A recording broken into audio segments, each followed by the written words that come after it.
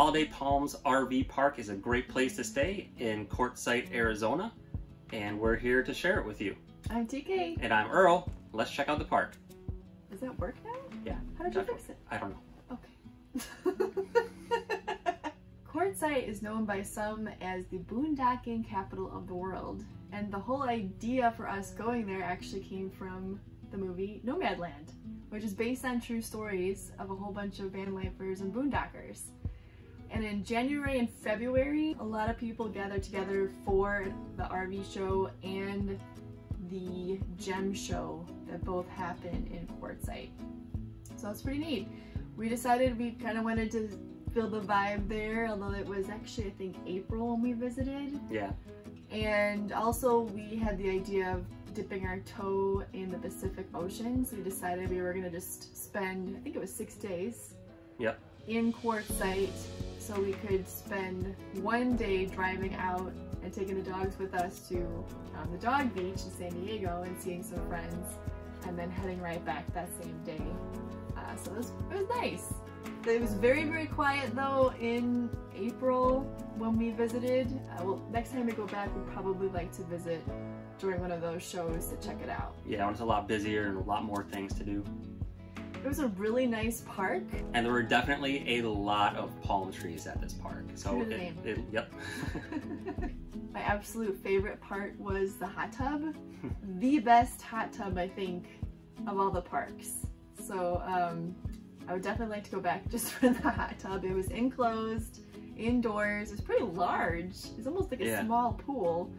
And people weren't taking advantage. It was also open really late. Yeah, that was nice. We had like an opening over top. It was Oh yeah, it's open. yeah, so we could Wow. watch look at the stars while we were in there. Yeah, so we like had powwows and chilled like after a long work day. It was awesome. The pool was a very nice size and had plenty of chairs around too for people to relax on. One thing you don't see too often is they had a place to change your oil too, which a lot of parks don't let you work on your vehicle, so that was pretty interesting.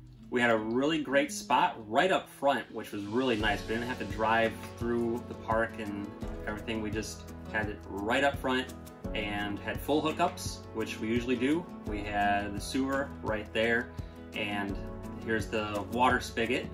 And then, of course, we have the 50 amp electrical hookup as well.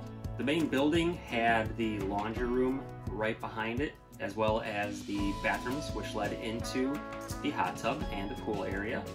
And the laundry room was reasonably priced, although we didn't use it. On it, No, yeah. but yeah, prices were still very good. There's also a room that had billiards and a small little area for working out. And they had a huge lending library, like shelves and walls. Like usually I'll see a little bookshelf, which I'm already thrilled about. I'm like, oh my gosh, they have a lending library. They had this humong, it was a library. Like it was like a library, lending library. And I don't think I took advantage because we were only there for a couple days, but I was so excited. Books and DVDs, I think. Oh, I too, think so. And puzzles. Yeah, so I mean, they definitely make sure you're taken care of. For outdoor activities, they did have pickleball courts and horseshoes as well, so you had some outdoor activities. There was a space to walk the dogs. It wasn't enclosed, it was in the front of the park. I think it was, was it both sides or is it just the left side of the park?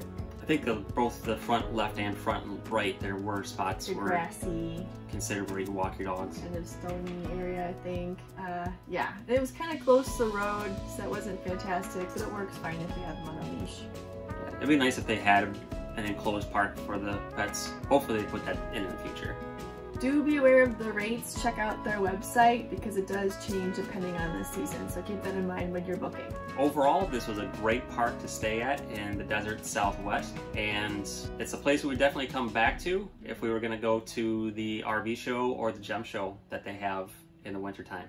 What do you think of Holiday Palms RV Park and Quartzsite? Have you been there? Let us know in the comments, and if you have any other places to recommend down there, let us know as well. Please subscribe to our channel, and you'll see more of our places where we go along our route. So thank you very much, everybody. Have a great day. That's it. Rather, Palms RV Park is a great place to stay. Blah blah blah blah blah. Quiet on set. Up or down? Up or down? What? Bark. All right.